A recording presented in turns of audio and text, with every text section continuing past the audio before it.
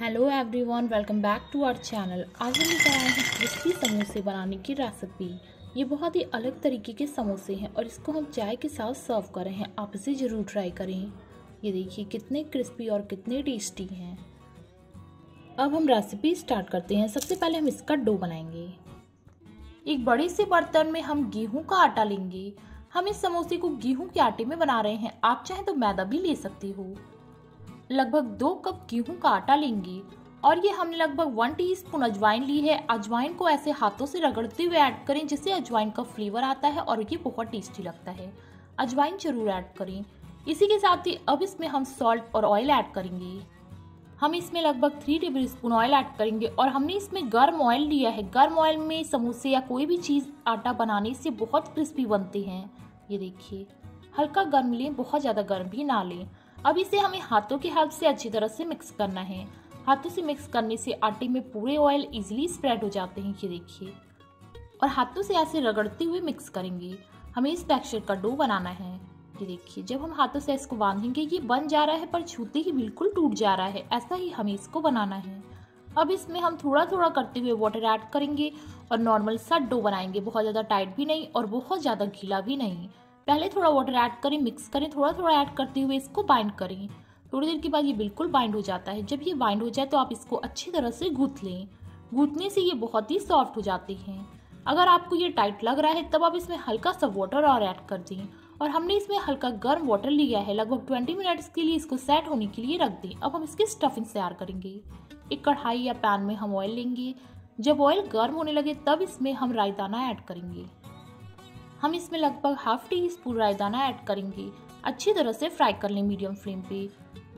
इसे हम तब तक फ्राई करेंगे जब तक राई बिल्कुल चरकना ना स्टार्ट हो जाए। इसके बाद अब इसमें अदरक, लहसुन और हरी मिर्च का पेस्ट ऐड करेंगे। आप इसे टेस्ट के अकॉर्डिंग कम या ज़्यादा ले सकते हैं। एक बार इस स्पैचुला से इसको मिक्स कर लें। मिक्स करने के बाद हमें इसे लो फ्लेम पे फ्राई करना है। हाई फ्लेम पे ही जल सकता है। इसे बस 10 से 20 सेकंड तक ही फ्राई करें। इसके बाद अब इसमें हम बाकी की चीज़ें ऐड करेंगे। हम इसमें गरम मसाला आप गरम मसाला टेस्ट के अकॉर्डिंग ऐड करें। और हम सॉल्ट ऐड करेंगे। सॉल्ट भी आप टेस्ट के अकॉर्डिंग ही ऐड करें। अब इसमें हम चुटकी भर रेड चिली पाउडर ऐड करेंगे। ये बिल्कुल ऑप्शनल है। आप इसे अपने अकॉर्डिंग ऐड करें। इसी के साथ ही अब इसमें हम अमचूर पाउडर ऐड करेंगे। आप मार्केट का भी ऐड कर सकती हो या कोई भी अमचूर पाउडर जो आपके पास हो, आप ऐड कर सकती हो। और half teaspoon chaat masala add करेंगे, जिससे ये बहुत टेस्टी लगता है। मसालों की अमाउंट आप अपने अकॉर्डिंग ले सकती हैं। अच्छी तरह से मिक्स कर लें 10 से 20 सेकंड तक लो फ्लेम पे फ्राई करें हाई फ्लेम पे फ्राई ना करें। और अगर फ्राई करते समय ये जल रहा है, तब आप इसमें हल्का सा वाटर ऐड कर सकती हो। अब इसमें हम कसूरी धनिया ऐड करेंगे। धनिया के पत्ते को अच्छी तरह से वॉश करके धूप में सुखाने के बाद ये कसूरी धनिया हमने बनाई है। आप चाहें तो धनिया का पत्ता भी ऐड कर सकते हो इसकी प्लेस पे। या आप कसूरी मेथी भी ऐड कर सकते हो। हम इसको बिल्कुल लो फ्लेम पे फ्राई करेंगे। जल्दी हम कसूरी धनिया की रेसिपी भी चैनल पे शेयर करेंगे। इसके बाद अब इसमें हम उबले हुए मैश किए हुए आलू ऐड कर देंगे। ये देखिए, हमने इसको ऐसा मैश किया है। आप चाहें तो किसी ग्रेटर से ग्रेट करके भी ऐड कर सकती हो, जिससे ये बिल्कुल स्मूथ हो जाता है। और इसे स्पैचुला की हेल्प से मिक्स कर लें। तब तक मिक्स करें जब तक सारे मसाले बिल्कुल अच्छी तरह से आलू में ना मिक्स हो जाएँ। मिक्स करने के बाद इसे किसी प्लेट में निकाल दें ताकि ये ठंडा हो जाए। ठंडा होने के बाद ही हम इसके समोसे बनाएँगे। डो निकालें डो को दो पार्ट में ऐसे करें। पार्ट में करने के बाद अभी पार्ट में से हम कई पार्ट करेंगे। आपका चकला जितना बड़ा है, आप उसे उसके अकॉर्डिंग भी बना सकते हैं। ये देखिए, ऐसे रोल करने के बाद तीन से चार पीसेस में इसको डिवाइड कर लें। हम इसमें मीडियम साइज़ की बॉल्स रखेंगे, ये देखिए। हम इतनी बड़ी रखेंगे, बहुत बड़ी भी नहीं रखेंगे और बहुत छोटी भी नहीं रखेंगे। सारे बॉल्स को साइड में कर दें और एक बॉल्स को रखें। और इसे चकली पे रोल करें। या आप इसे चॉपिंग बोर्ड पे भी ऐसे रोल कर सकती हो। रोल करने से ये बिल्कुल सॉफ्ट हो जाते हैं, ये देखिए। हाथों के हाथ से भी इसको अच्छी तरह से मिक्स करें, जिससे ये हल्का सा बेलने में प्रॉब्लम नहीं होती है। हमने इसको गेहूँ के आटे में बनाया है, जिससे ये थोड़ा सा हेल्दी हो जाता है। हल्का सा सूखा आटा लें, इससे ये बेलने में प्रॉब्लम नहीं करेगा। ये देखिए। ऐसे करने के बाद हल्का सा ऐसे फ्लैट कर लें, इसके बाद अब एक बेलन की हेल्प से बेलें। इसी पतले बेलन के हाथ से थोड़ा सा बड़ा बेलेंगे। बहुत पतला भी नहीं बेलेंगे और बहुत मोटा भी नहीं बेलेंगे। नॉर्मल टाइप का बेलेंगे। बहुत पतला बेलने से ये टूट सकता है उठाने में। बेलने के बाद इसे एक प्लेट में निकाल लें और ऐसे ही दूसरा बेलने सेम जैसे हमने इसको बेला है। और जितना बड़ा बेला है, उतना ही बड़ा इसको भी बेलें। हाथों से फ्लैट करें, सूखा आटा लगाएँ और फिर बेलन की हेल्प से बेलें। आप इसे किसी भी बेलन से बेल सकते हो, जो बेलन आपके पास हो। ये देखिए, ऐसा बेलने के बाद अब हम इसके समोसे बनाएँगे। बीच में स्टफिंग्स रखें और हाथों के हाथ से पूरी स्टफिंग्स को ऐसे फैला दें। हमें आलू की एक पतली सी लेयर ऐसे फैलानी है, बहुत मोटी भी नहीं फैलानी है, ये देखिए। और उंगलियों के हाथ से फैलाने से ये बहुत ही ईजिली फैल जाता है। पहले स्टफिंग्स ऐड करें, फैला लें, फिर बाकी की स्टफिंग्स को ऐड करें, ये देखिए।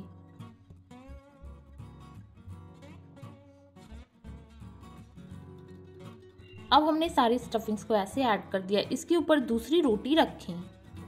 रोटी रखने के बाद अच्छी तरह से प्रेस कर लें। अगर ये हल्का छोटा लग रहा है तो आप हल्का सा खींच लें। बहुत ज़्यादा भी ना खींचें। हल्का प्रेस करने के बाद एक बार बेलन से बेल दें। बहुत तेज़ी से ना बेलें।